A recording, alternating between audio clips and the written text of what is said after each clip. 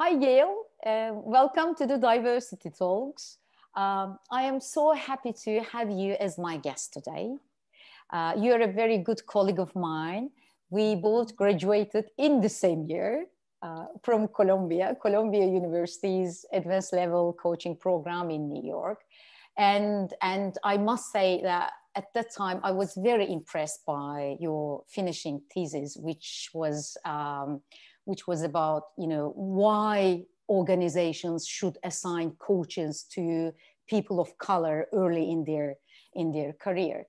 Um, Gail, you're an executive coach working with managers and VPs in different sectors in the United States.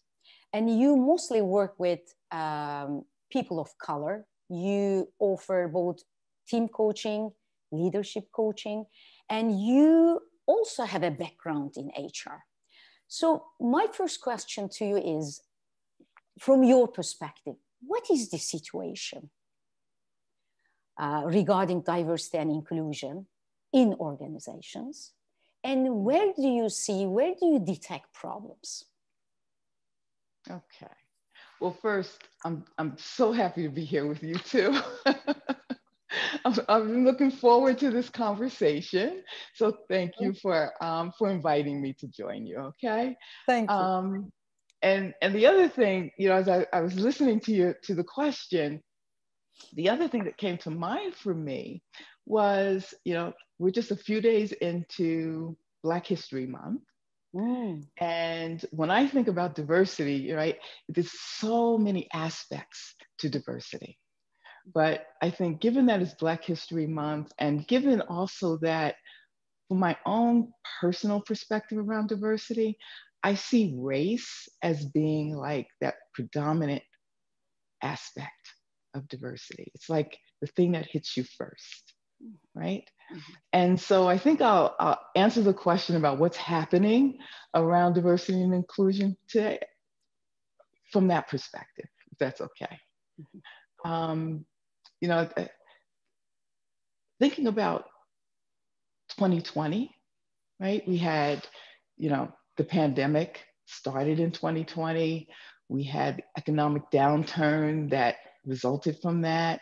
We also saw in the beginning of, in the late spring, um, where there was this shifting that, that happened. Um, I guess it was early summer, the shifting that happened around the growing support for the Black Lives Matter movement following the, the killing of George Floyd, which we all witnessed, right? It was witnessed around the world. It was one of those things that it, it couldn't be unseen by anyone.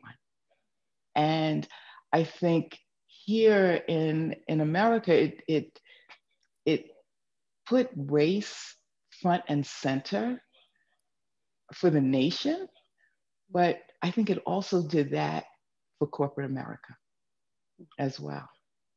And, um, and so what we saw coming out of that was companies making public pledges, right? You heard them talking about reaffirming their commitment to diversity, making financial donations, um, inviting conversations about race. And those kinds of responses and have their place, right? But until until organizations are willing to acknowledge that racism exists and it's real mm. and people feel it every day, um, not only outside in the larger society, but also within the organization itself. I, I don't, I just don't think things will, things will change enough. Um, it, it's where, it's where it, we need more than, we need more than the words and we need more than the good intentions, right? Of, of what organizations want to do. We need them to take that hard look inside and, and, and do that work around diversity and equity and inclusion. And to do that, it, it's the same story we, we know to be true. It's the leadership that has to lead the way. it's the C-suite that needs to come to this in a different way. Um, more than their words, but with actions and actions around things that make a difference policies, practices, expectations, accountability. Those are the things that are important. Uh, for making the workplace different for people. And so I think when you think about what can happen relative to diversity and inclusion, I think that's where it is. Mm-hmm. Mm-hmm. So, Gail, where, where do you detect problems in organizations? I mean, you mentioned that we need to accept that racism exists. So, mm-hmm. Is this something which is not happening in organizations? What is it which is not working yeah. in organizations? Yeah, I, I, think organizations are no different than people, right? Because people make up those organizations in, in, in the sense that when you think about something like that, it, that willingness to acknowledge racism, um, people need to acknowledge that, right? And I think that's a hard thing for people to do. And so I think that's that's part of the problem, right? And we we kind of for years we've been you know pushing diversity initiatives, right? But initiatives are not enough. You have to make those systemic changes within the organization. Around the policies and practices. Mm-hmm. And Gail, when when you, I, I said earlier that you uh, you offer coaching, leadership coaching, team coaching, and you mostly work with uh, people of color. What do you notice if I ask you to put your coaching hat on, so coach hat on? Sorry, mm. what, what do you notice about their needs? The reason why I'm asking you this question is diversity is all about acknowledging, recognizing, and embracing differences. So when you think about your coaches, do they want their differences to be acknowledged or ignored? Hmm. Yeah. Hmm. Well, I think I think people want I think it's somewhere in between. right?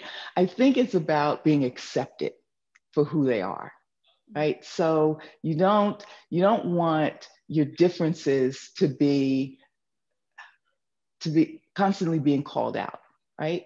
But you also don't want them to be ignored, right? Because if they're igno- if they're ignored, it, it feels like your uniqueness doesn't matter, right? And who you are doesn't matter.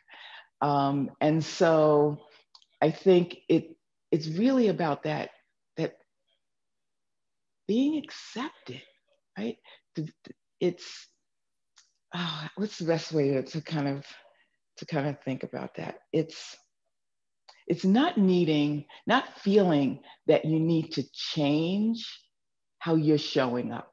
Mm. And I think all too often for people of color that happens, where there's like there's like a mold of what what you need to be like in order to be successful and that may mean that you're feeling that parts of you aren't good enough you can't show up as your full self and um, and and that carries a burden um, for people um, because you're you're you're hiding part of you right and and there's been you know different different studies that have been done around that, right? Um, and been called lots of different things. It's been called covering. It's been called masking, um, code switching. Like these are some of the terms that you know I recall, you know, hearing, you know, when I when I read different things. But it's really just plain and simple, hiding some aspect of yourself, mm. and and that's a hard thing.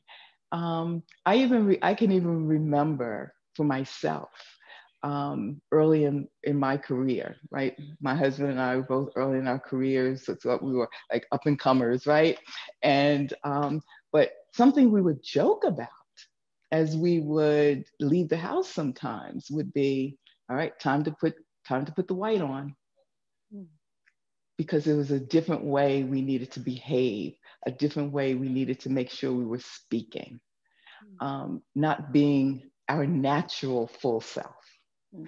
And I think the same thing still exists based on some of the things I hear from my clients.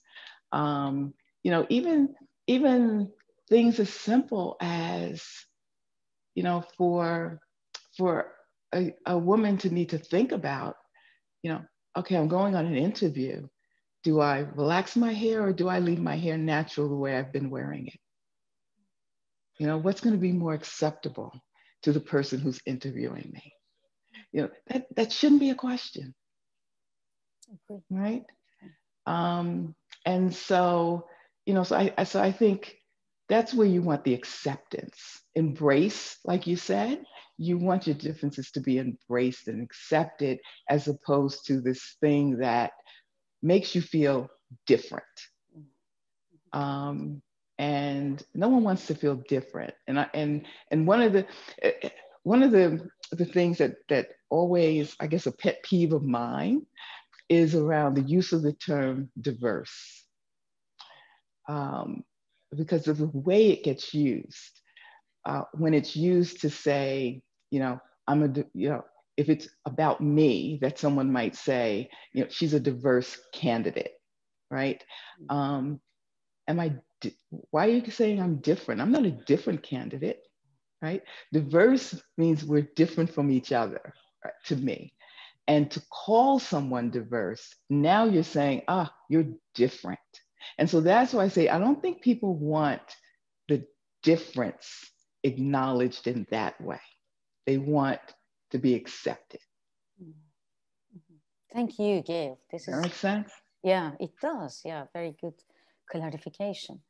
Um, Gail, don't you don't you see any progress in that regard? I will. I know that you have got two daughters, and and both of them are in you know corporate life, and uh, what is different in their life comparing to your life 30 years ago? Yeah, uh, certainly, certainly some progress, right? Um, but there's still a lot to be done. There's still a lot to be done. Um, you know, that um, I think compared to 30 years ago, I think younger people today have more opportunity to see themselves um, represented higher at higher levels within the organization. Um, and even if it's not within their organization, they, they, they just know that that's happening, right? Um, and so it also, it, it, it helps them to be able to, to see where they can go, right? It also, even maybe even touching people a little even earlier than that first job, maybe even when they're in college. Oftentimes, professors will be coming out of corporate roles and, and they start to teach. Um, and they're bringing that experience. And that's something that um, even those students can talk about right? So they can begin to understand what kind of opportunities exist for them career-wise. They can begin to think about, you know, what a career path might look like for them. And the same holds true for people in their earlier career or as they're progressing in their career. So seeing that representation becomes important. Um, and I think there is more of that mm-hmm. today. Mm-hmm. Mm-hmm. That's great.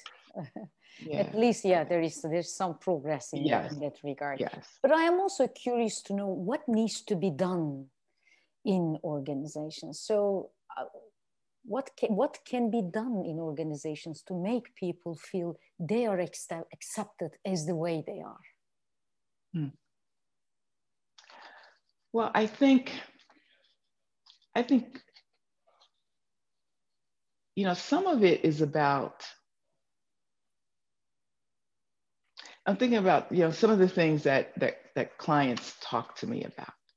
Um, in terms of, you know, oftentimes they they're wondering, you know, just for themselves, you know, why is it that their career or the careers of people who look like them aren't progressing in the same way as maybe their white colleagues. So they see people whose careers are moving moving much faster. They're getting those promotions much sooner. Um, they may have started together in the organization, or they may be looking at peers of theirs that they went to school with, either college or grad school, and, and they're seeing these, these people's careers move faster. And so um, a piece of it is around, you know, where's the support for them? You know, I think, you know, that that's that's a piece of it, um, of what could be different. Um, more support for them in terms of, you know, mentors, um, sponsors, people who really care about them as a person and helping them to navigate moving forward in their career uh, so that they are they become more aware of opportunities and not just job opportunities but also opportunities for development programs. Oftentimes they may not even know that some of these programs exist or that they're eligible for them. And they they have to find these things out on their own as opposed to someone guiding them towards those those kinds of opportunities. So um, so i think um, having more support for them um, i think you know when you think about like what i talked about before around um, needing to make some decisions around your, your style and how you show up at work. You know that that's where coaches can come in mm-hmm. right? And, and help someone because again that's a hard it's a hard thing to come to terms with that you know what do you mean i can't be myself? Right? Um, and so helping them to kind of think about where's the balance around that? Where where can you adjust your style without giving up who you are? Mm-hmm. And, and, and your identity yeah. Yes. And and helping to work through you know those kinds of things with people. Um and and again it, it still gets back to what's the company willing to acknowledge and what actions are they willing to take? You know are they willing to acknowledge that all the isms that exist outside of their organization also exist inside? And are you know are the uh, is the leadership of the organization and again talking about that c suite are they willing to make those changes around policies practices um, and cultural norms so that um, there is this opportunity for diversity inclusion and, and equity to become more of the reality of, of being more of the norm as opposed to the exception. My understanding from you is acceptance lies in the heart of this diversity, inclusion, and, and equity. Mm. Yeah, it, it, acceptance and and making those choices around making those changes of, around how things are done. Because we can't change people right? People are themselves and we can't change their beliefs and their views and all of those things right? But what we can change are the the way the processes around which they get to operate. Mm-hmm. and that's the the policies and the practices. Mm-hmm. right? That's where you can you can that's where you can level the playing field. Gail thank you so much. Uh, our time is up is, is it? Time is flying. Every time i get this reaction. Is there anything else that you would like to say before i i close this session? Um just to kind of just reiterate like what I said that, you know, there's so, I, I just think there's so much possibility right now um, in this diversity, equity, inclusion space. And we just, we need to seize that um, by taking that hard look at what kind of workplace are we creating for people?